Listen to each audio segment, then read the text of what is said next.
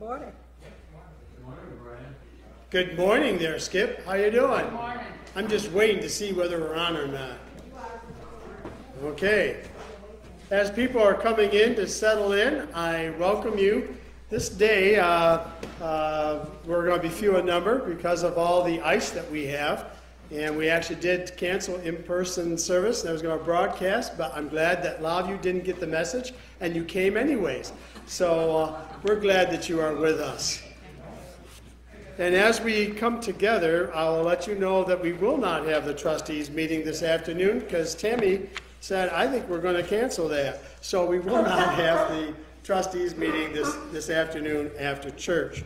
We want to remind you that on Wednesdays, we have a drop-in hot lunch at 11:15, and you're welcome to come and have a free hot lunch.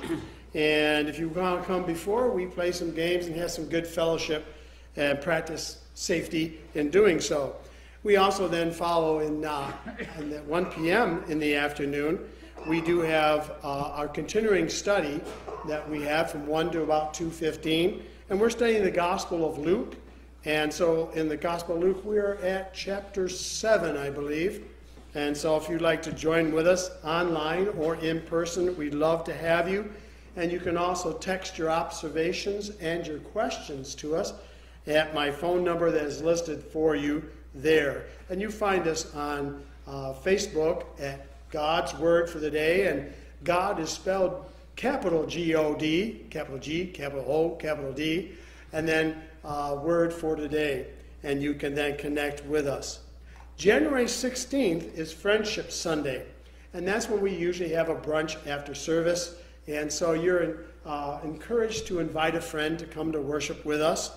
And uh, we're going to be celebrating the spiritual legacy of Martin Luther King Jr. during that service.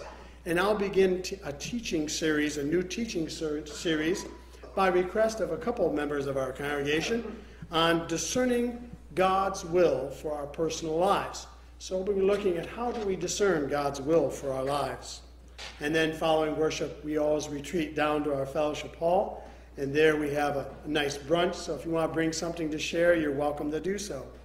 And also on that Sunday, we invite you, if you want to give a special donation for our supplies that we use to purchase um, uh, materials for packing our lunches for the homeless. We pack about 100 lunches right now, uh, and so we do that on that Wednesday, the 19th. And so we always need to buy some supplies to be able to pack those lunches, and then we distribute them in downtown Syracuse. Again, if you'd like to serve as a liturgist or a reader, or you'd like to provide bull- uh, bulletins or flowers uh, for our sanctuary, there's a sign up sheet that's out uh, in our lounge, please uh, take the opportunity to uh, sign up if you'd like. I'd also would like to encourage you. I have a copy of our um, directory and also celebration list of birthdays and anniversaries. Please take time to go through that and correct any misinformation that might be there. So then, when I uh, publish our new directory, we can have the most updated information uh, that we can with that, I just want to uh, welcome you again, those who join us online, uh, and also those of you who are present. I thank you for your presence with us this day. Without further ado, let's go ahead and begin our worship. Good morning, everyone. Morning. Good morning, Eileen. When the song of the angels is stilled, when the star in the sky is gone, when the kings and the princes are home, when the shepherds are back in their flock. The real work of Christmas does not end, but begins. To find the lost, to heal the broken, to feel, feed the hungry. To release the prisoner, to rebuild the nations, to bring peace among neighbors, and make music in the hearts of humanity. Let us remember the call of Jesus upon our lives and proclaim in word and deed the spirit of Christmas. I gave uh, Sylvia this morning off because of traveling from where she had to come from, and so we uh, will be singing a cappella. So you have to follow me. If you'd rise to your feet and we'll sing our first song. It's in your little black hymnal called Shine, Jesus, Shine. And it's found on page 1273. Shine, Jesus, shine, fill this land with the Father's glory. Blaze, Spirit, blaze, set our hearts on fire. Flow, river, flow, flood the nations with grace and mercy. Send forth your word, Lord, and let there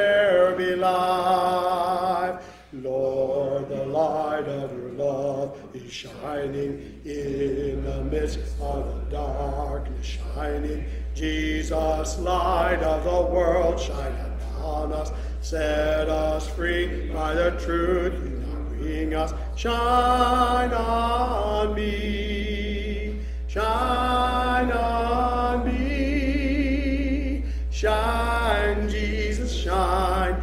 Fill this land with the Father's glory. Blaze, Spirit, blaze. Set our hearts on fire. Flow, river, flow. Flood the nations with grace and mercy. Send forth your word, Lord, and let there be light.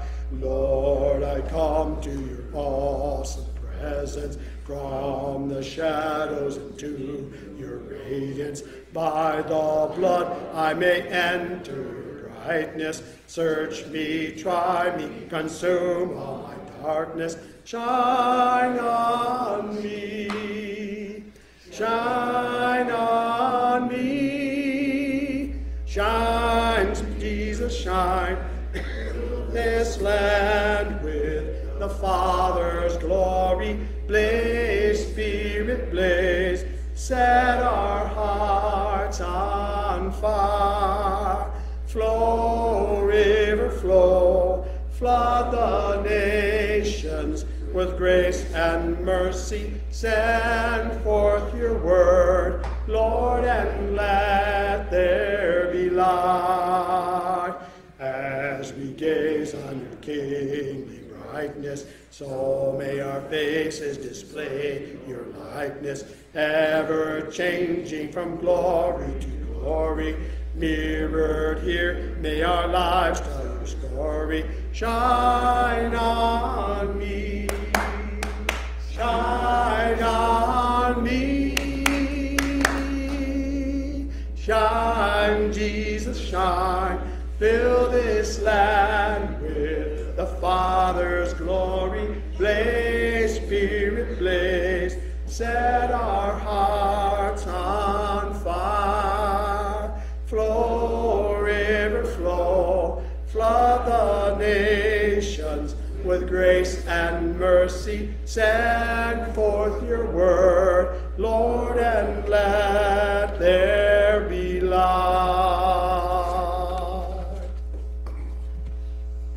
Please be seated and let's join our hearts in prayer as Eileen lead us, leads us in prayer. Lord, we have left the manger. We have experienced the glory of your birth in our hearts. You live with us and, um, and among us, as we just proclaimed and sung. May your glory shine in us and through us. There is a joy and a peace we enjoy at Christmas, but which, when the celebration is past, is so quickly forgotten, packed away like our ornaments. Help us to claim the gifts you have offered us. Help us to use them to invest in the light, life of this world and culture. Cause them to grow as we grow in our faith and faithfulness to impact the world in which we live. May others see and witness Christ in us. This we ask in Jesus' name. Amen. I'd ask Sharon if she would share with us a witness from a hymn that we will not sing, but also the witness from the life of its author, uh, Philip Doddridge. And so uh, Eileen is graciously going to share that with us this morning. Great God, we sing that mighty hand by which supported still we stand. The opening year thy mercy shows, that mercy crowns it till its close. By day, by night, at home, abroad, still our regard guarded by our God, by his incessant bounty fed, by his unerring counsel led. With grateful hearts the past we own, the future all to us unknown. We to thy guardian care commit, and peaceful leave before thy feet, in scenes exalted or depressed. Thou art our joy, and thou art our rest. Thy goodness in all our hopes shall rise, adored through all our changing days.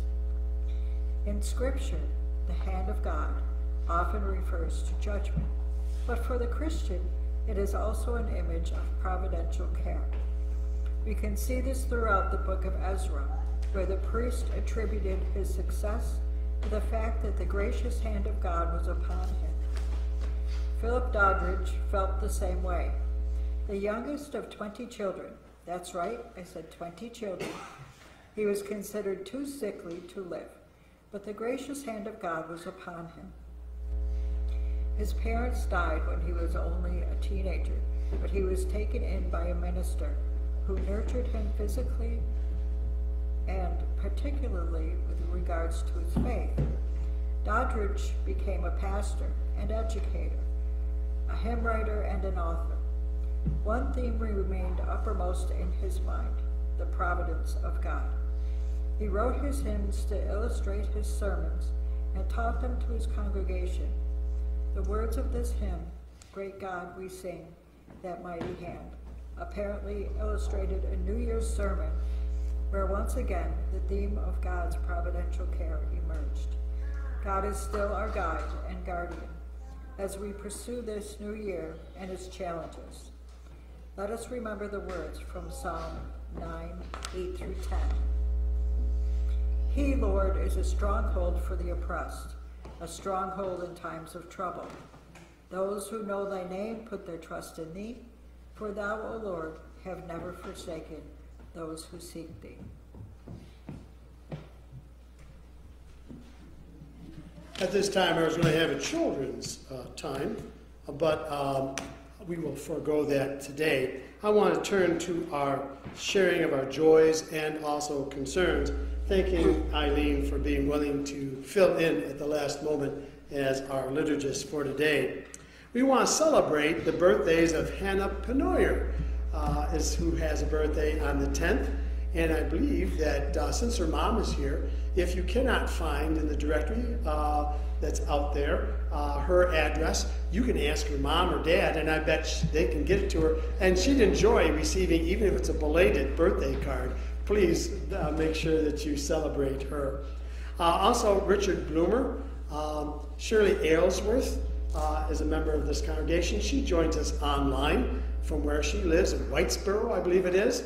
And so uh, we say hi to you and happy birthday to you, uh, to her husband, Richard, and Eloise Dunn, who was a fixture here in this church. We know that dementia and strokes have taken her away from us. She's in a nursing home and kind of living in her own world right now. Uh, but we want to pray for her well being, and we look forward to her healing as in time God will take her back to be with Himself and restore her to fullness of health, fullness of mental capacity, and we wish and enjoy enjoying that for her. So please be praying for Eloise Dunn. We also want to, as I had uh, conversations with Jean Ch- Case yesterday, excuse me, she uh, asked prayer, and I prayed with her uh, for her granddaughter and grand, great grandchildren uh, as they are all suffering from COVID. So we want to lift them up in our prayers. We want to, and I celebrate this, this is really a joy. Uh, we pray for our education team. Our education team consists of Julie Kelsch. Uh, she's not here today, Ron is. It's nice to see that you dared the ice. Um, and Karen Gloyd, whom she's been here a couple times.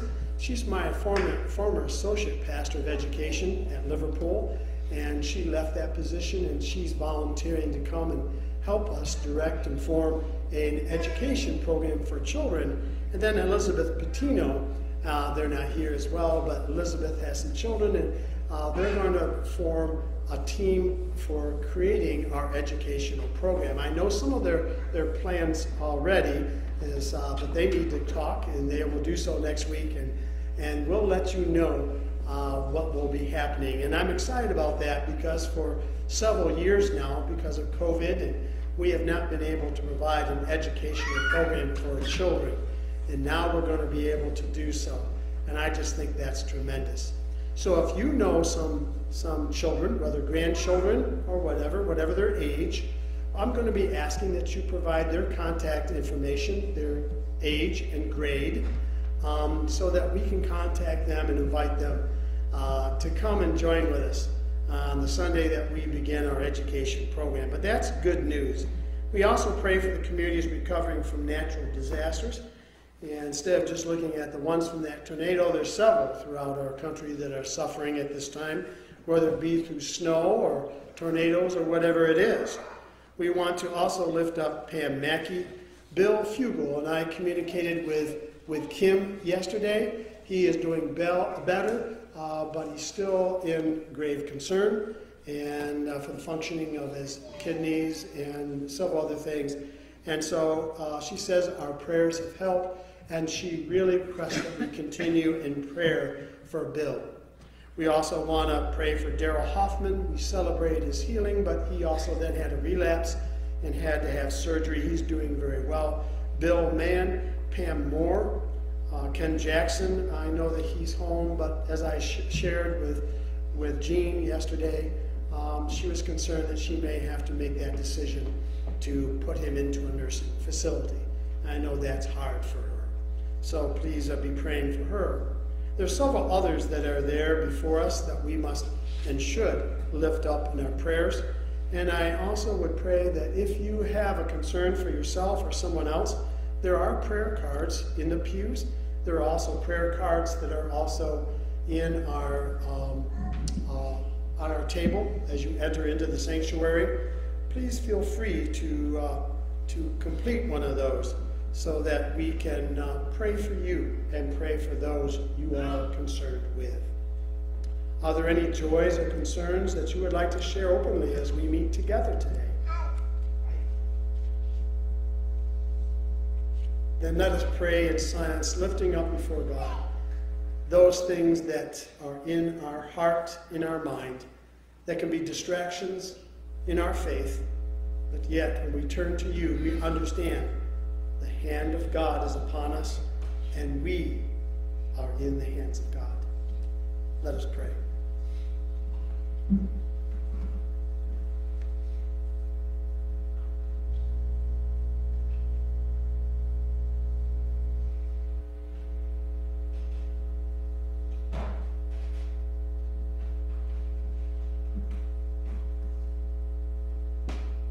Lord, we are thankful for the many ways that you touch our lives.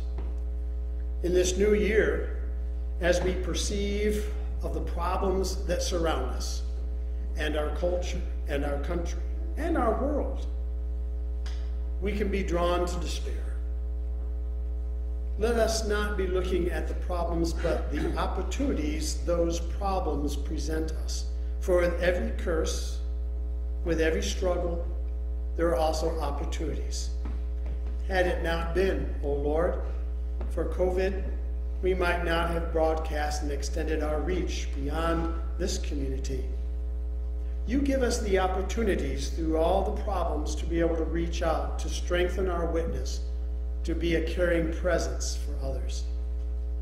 As Christians above any other persons in our, in our communities, Lord, we are those who have faith and that faith should be a light that guides us, that we might then capitalize on all the opportunities you lay before us.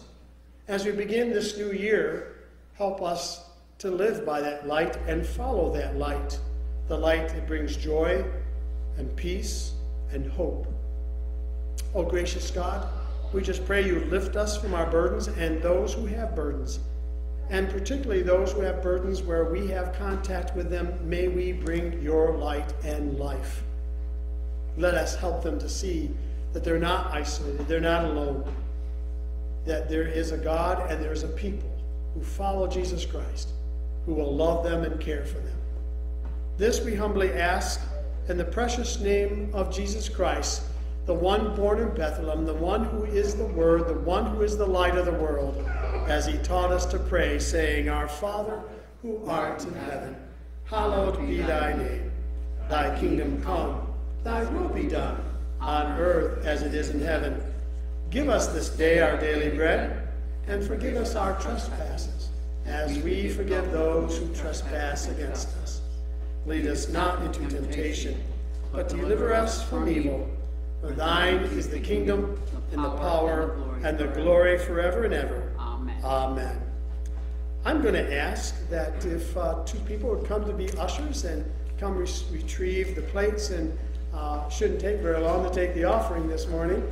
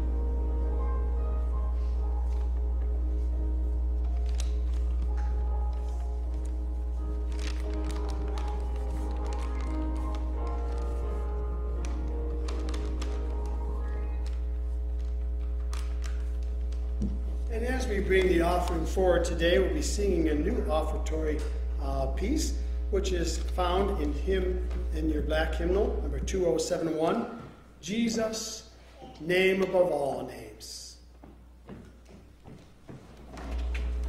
Jesus, name above all names, beautiful Savior, glorious Lord,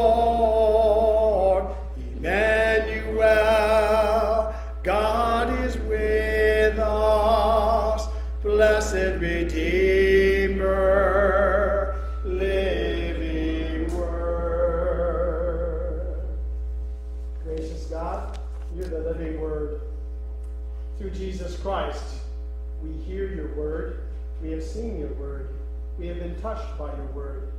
Your word now has been born not just in a manger 2,000 years ago, but born in our heart. Live and grow within us to maturity. And we give you thanks for all your gifts to us, for this community, for our faith that we share together, for the purpose you give to us and the calling that you call us to, that we so oftentimes do not feel adequate to meet. Lord, Where we are not able, you are able. And we give you thanks and praise for the gifts you give to us that enable us to fulfill your calling in our lives. Amen. Amen. I'd ask if you might turn. Uh, we can keep social distancing easy today, but we can take one on the peace and love of Jesus Christ. Morning. How you doing, Irene?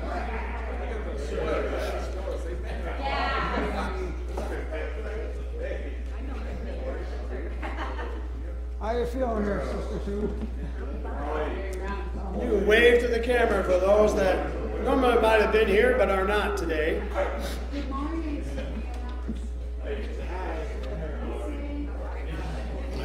Love you with the love of the Lord. Yes, I love you with the love of the Lord.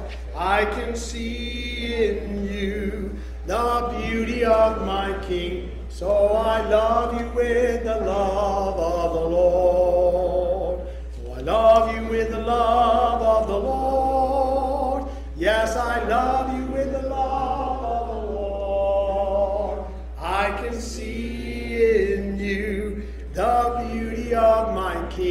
So I love you with the love of the Lord. I'm going to change our order just a little bit. You can keep it on that side. I'm going to invite you to be seated. Since the next hymn I was going to have us sing is a little bit more difficult without our pianist to be with us, we'll forego that for another time. Instead, I'll share with you the word for today. And it comes to us from Paul's letter to the Philippians, chapter 3. And so, this is how this reading for this day goes.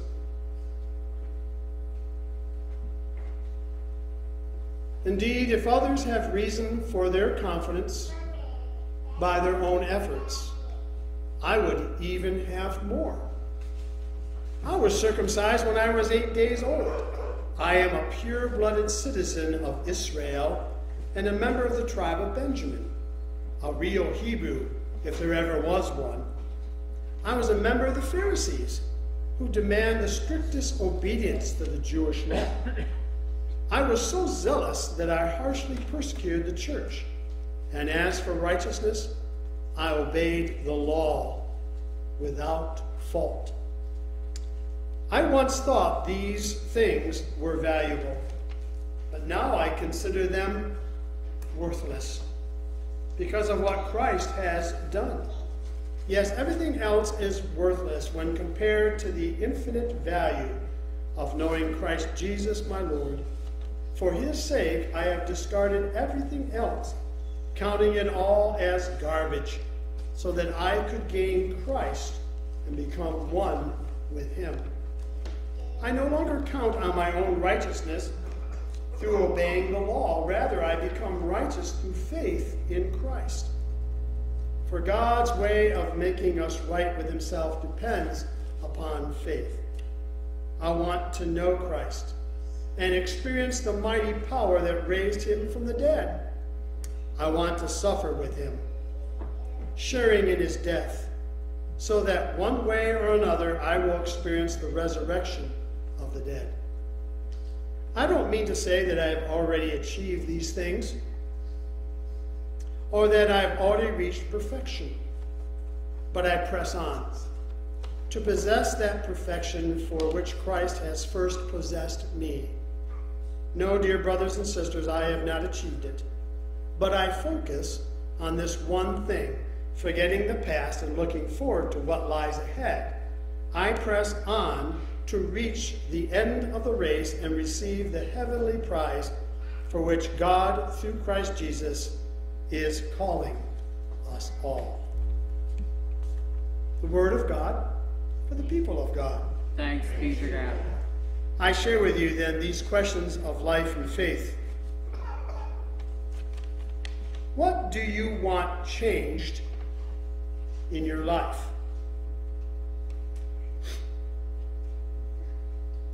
Who do you hope to be a year from now?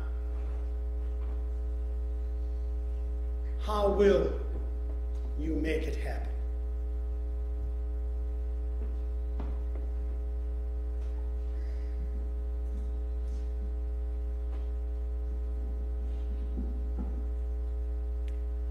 You know, typically as we approach the beginning of a new year, people always have resolutions.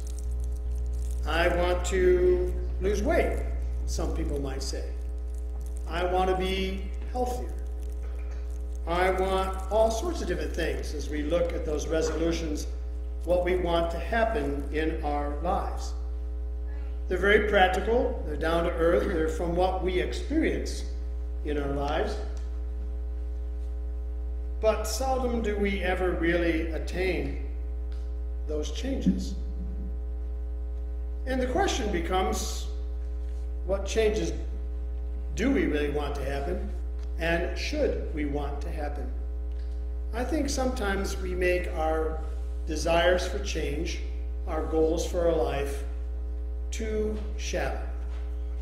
They are not deep enough or dramatic enough. And some might say, well, wait a second, I have a hard time. You know, bought this exercise equipment, and by March it'll be out front, and people can take it away, or they'll put it on Marketplace and they can pay me for it so I can recoup some of my money. We have a difficulty at trying to live up to those commitments that we make. That was the intention behind this, these questions that I gave to you. What do you want changed in your life? Now, some people who are older will say, well, not much can be changed. I like to be healthy, healthier, but you know, I'm on this pattern of the golden years that I'm going down, and the golden years are not necessarily so golden. There are struggles and challenges that we have to face. And so we look ahead and anticipate, well, if I can just keep what I have, I'll be doing good, right? So a lot of people have different goals for their life, and many people don't really have goals at all. This is my life. I've lived my life. This is my job. This I had a hope for family. I have my family. I have a hope for this, for that, and this then has defined my life. Even religiously or spiritually, we have certain goals. I want to be part of the church. I want to become part of the family of God. But that becomes the fullness of it. And it kind of tends to stop there. We can easily limit ourselves and come to the place, well, I have attained my goals. I don't have any other goals at all for me to strive after. Particularly in the spiritual realm, people can tend to be that way. Here we find the words of St. Paul. And I focused upon them because all of a sudden it has to do with goals. And he also mentions how he has been possessed. I press on to possess that, that perfection for which Christ Jesus first possessed me. Many people in reading the writings of the Apostle Paul will say, yeah, he was possessed. I don't mean possessed by the devil, but possessed. There are some people who seem to be driven, we might say ups, uh, up, up, obsessed. They're obsessed with a certain goal and they strive at it. You know, for anyone that wants to attain something that they long for, it becomes an obsession. You look at an athlete and they're obsessed with being able to perform and perform well. And so they have to discipline themselves. I have another passage in which uh, he wrote uh, to us, and which he describes then um, the pressure of being driven. From 1 Corinthians chapter 9, verse 24, he writes, Don't you realize that in a race everyone runs, but only one person gets the prize? So run to win. All athletes are disciplined in their training. They do it to win a prize that will fade away, but we do it for an eternal prize. So I run with purpose in every step. I'm not just shadow boxing. I discipline my body like an athlete, training it to do what it should. Otherwise, I fear that after preaching to others, I myself might be disqualified. Now, we can understand with an athlete as we're coming upon the, the Super Bowl in the next couple weeks, and the playoffs that are happening in the next couple weeks. We understand how there are those who are obsessed or have as their goal that they're going to win a specific prize. And so they train themselves and they strive after doing what they can to be able to attain the prize, which will be a Super Bowl ring. But seldom do we apply that for ourselves. What about in our lives? You know, we won't get obtain a Super Bowl ring. But in many ways, the scriptures talk about receiving a crown, a crown of rejoicing. At the end of our days, do we then feel like we have run the race, another image that Paul has used, to run the race well? Will we, at the end of our race, be able to hear within our mind the Lord saying, Well done? For those who are followers of Jesus Christ, that is our goal. We want to hear that word, well done. But the question comes to us, at least to me, is how much am I investing to win the prize? So I, I titled this message, and I put it on the front of the bulletin, In the Game. I have to ask you, are you in the game? Are you just sitting along the sidelines, waiting for those opportunities that you might have to be able to get in the game? But are you just getting by? Are you just following the normal course and goals that you have established as defining of your life? This is my life. My job, I dreamed about having a family, home, whatever it might be. Is this all there is to life? And for many people, they'll be satisfied with that. They'll be satisfied spiritually as saying, okay, now what happens is that I go to church, I do the things minimally that I need to do. Do you hear the word minimally in there? This defines my life. There is no sense of obsession or possession. Are we to be as obsessed and possessed? I think so. Are we to be as driven? Listen to what Paul writes he says, as he mentions all the things in his life that he should count as assets. What assets do you have in your life? What have you done? What have you accomplished? You've gone to college, had a good job. Have you accomplished these things that you thought were part of the goal and how your life would be? Are you satisfied with that? And all of a sudden he says, You know, I once thought these things were valuable to me. But now I consider them worthless. Hear that? Worthless. What do you count as the assets to your life? Paul said, I count them as worthless. The actual word there is I he says garbage. He says I, I consider them dung, horse manure. I'd say another word, but you know I don't want to be criticized for saying it. But that's the actual word that Paul uses. You know what I'm talking about. He considered all those things as totally worthless. And he says, I have now, and the word worthless, he uses several times, is the word loss. I consider them a loss to my life of not having a benefit to me.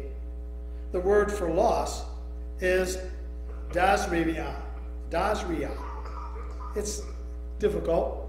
And what it means is a detriment. And he violently repudiates their impact on his life. Now, I disagree with him in that many of the gifts that God has given to us, once we give our lives to God and surrender, all of a sudden we can use those assets and they're directed at building our lives the way God may want them to be. They aren't useless. But he considers them useless because if he focused upon them, he built his life upon those assets to the neglect of his spiritual relationship. He now has said that what is most important to me is my life in Christ, lived through Christ. That's what he says. Yes, everything else is worthless when compared to the infinite value of knowing Christ Jesus, my Lord. Think about that. What is the greatest asset that you have for your life? I pray that it is your relationship. I know that it's because of my relationship with Jesus that I can, I can look at the assets that I have in my life and I realize it was by the hand of providence that God provided those assets. Even in my relationships, as I celebrated my 40th with my lovely bride, you know, that's an asset. Did I deserve that? Did I work for that? It was a gift given to me by God. I needed to respond to that. Everything is changed in our focus when we surrender our lives to Jesus Christ. And all of a sudden we realize that everything we might consider as a value and asset to us only has its value when it is placed in the hands of God. And then it is magnified, intensified, and directed with purpose. So I want to just address a few things that I think is important for us. The second question Who do you hope to be a year from now? Not what will you attain, what will you get in the next year, but who will you be? Have you ever thought about that? What is the focus of your prayers to God? Lord, I want to be more loving. And then we take the particularity of that hope and say, These are the people in my life, and they challenge my ability to love. So help me, O oh God, to be more loving. Help me to be closer to you, that I might experience your presence in my life. And you know, if you have your goals, then you can have your plan. If you don't have any goals, you do not have a plan. So I guess the first thing I would advise myself, as I would you, is what is your goal in life? You see, a lot of the goals, people might think, they're past me. I can't do that now, what I dreamed of. But wherever we are at this given moment in time, we can have the goal of being closer to God through Jesus Christ, of being a witness and servant with what God has given us where we are at this present moment in time. I can certainly have people in my life that I can love more deeply. There are relationships that I can forgive. There is reconciliation that I can strive after. There are so many different goals because I want to become like Christ. I want to change who I am. I may not be able to change what has happened in the past, both my failures, nor can I necessarily change my assets, things I counted on. But I can take the gift of where I am and who I am right now. And over the course of this next year, I can be different. I can draw myself and make myself, with God's help, to become more the person that I think that God envisions that I can be. What's important is the vision of what God, we think, could make us be. So, first is having a goal. The second is realizing that there's going to be struggle in attaining that goal. And so, what he says I press on to reach the end of the race and receive the heavenly prize. And he said, I also want to share in his sufferings. What does it mean to share the sufferings of Christ? For me, what it means is that I know who I am and who I, I have a vision of who I should be. My struggles and sufferings in Christ are taking my challenges and then overcoming them with God's help to not allow them to define me, but I have to anticipate what those challenges are. And then there's going to be challenges that I may not know are, I'm going to confront during this next year. But I need to be prepared for them. So I have a plan. If this is my goal, what's my plan? I need to have a plan. To become the person that God so wants me to become, I need the powers in my hand to determine whether I can make it happen. I know I can't make it happen by myself. I need you because you're a gift that God has given to me. I need the Holy Spirit. I need to be closer to Jesus Christ.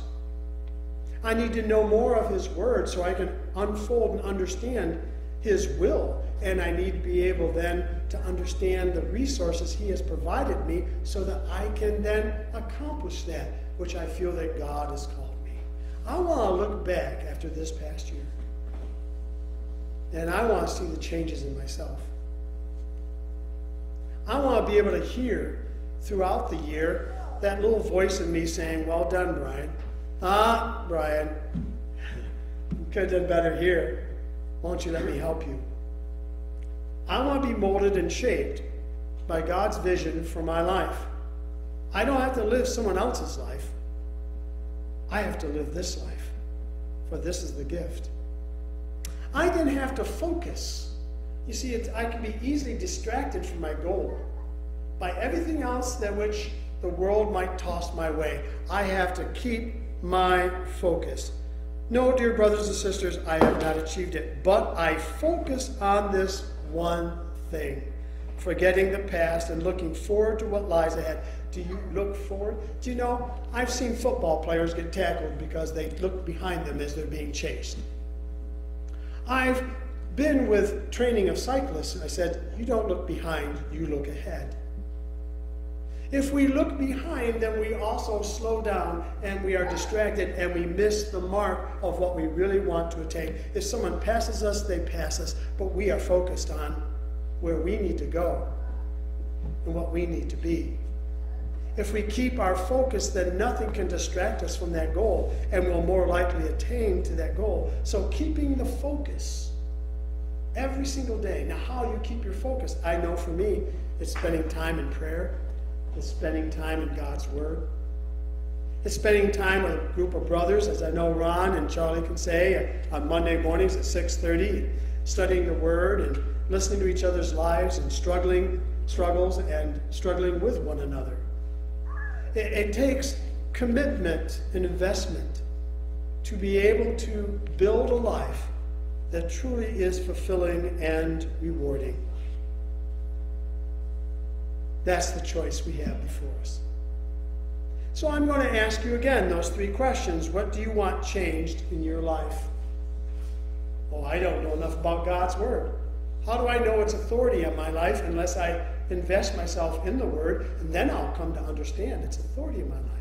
How do I know the potential that God will be there for me, upholding me, motivating me, encouraging me, coaching me in this life that God has given me unless I give Him a try and I do what needs to be done. What do you want changed? How will you make it happen? Who do you hope to be a year from now? I'll leave that question with you. Who do you hope to be this next year? I want to share with you something before we go into a time of prayer. Uh, I should have shared this easier. Received a letter from our bishop thanking us. Thank you for paying 100% of your shared ministries for 2020. This is a significant achievement, and I'm very mindful that you have accomplished this only through great effort and steadfast commitment. I'll leave this out, out there so you can read it after worship. You see, a goal requires a commitment and an investment. And a lot of churches can't do that. You, this little church, have been successful. And I praise you for that. I also have another letter here that I will not read to you, but in supporting children and families whose children are deathly ill, St. Jude's Children's Hospital, you have provided over $2,000 this year in order to help support the efforts of those families to live their lives. You have helped Golisano Children's Hospital. You have fed well over 1,400 people meals. This little church. Can you hear? Well done. Can you look ahead as a church and say, what will Jesus say of us this next year? I'm excited to think I will hear Jesus say as we strive on together in his name.